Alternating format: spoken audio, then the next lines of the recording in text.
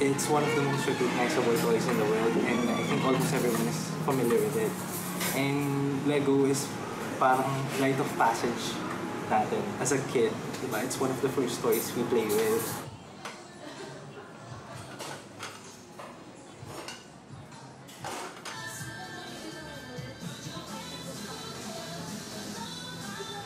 Well, if you look around um, Brick Burger, everything, almost everything we have here is an upscale version of the actual Lego pieces na makikita mo sa Lego stores.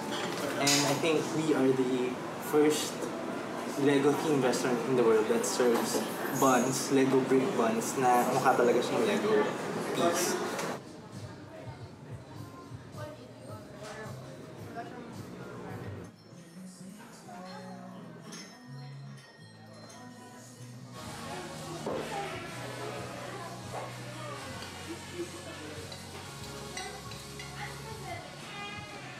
Yung unang-una talaga, curious, curiosity talaga eh. Yung, yung burger bun namin, yung Lego bun, yun talaga yung ano. Kasi one time talaga, hindi na pala one time, siguro na-run out kami ng ano, ng Lego bun. So, ang hirap ipaliwanag sa ano, sa guest na, kasi brick burger, tapos walang Lego bun. So, yun yung mga unang ano namin eh. Eh, siyempre, sa sobrang dami, yung, yung anticipation namin, dinoble namin. One minute.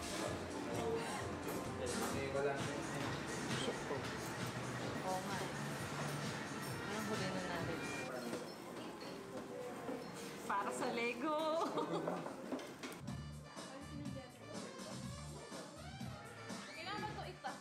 Na-enjoy ko na siya hanggang sa pati yung son namin. Kasama na namin. Yun na yung bonding namin. Pagbili yung Lego. Tapos ito nga yung theme. So sabi ko, uy, mukhang maganda. Sige, let's go.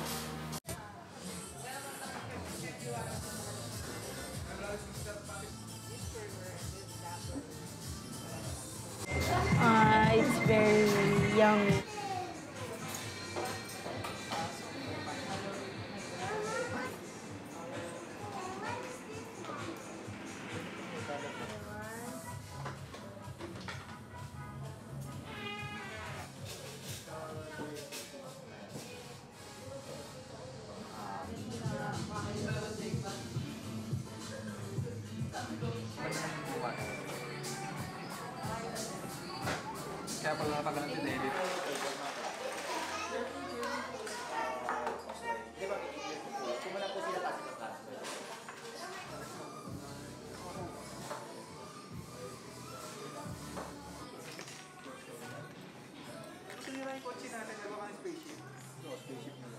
Para, yun ngayon, para akong bumili sa pagkabata guys. Kasi Lego yung gagawa.